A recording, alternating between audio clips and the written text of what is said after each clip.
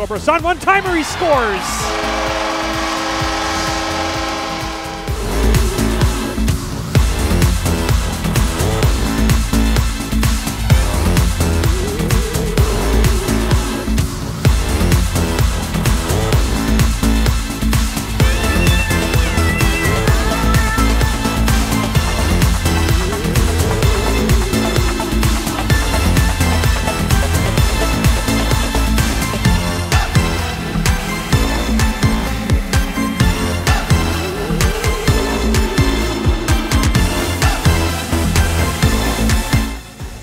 Face off win. Quinny dropped it back. Wrist shot score. Right off the face off win. It's Sheldon Rempal with a rising wrister.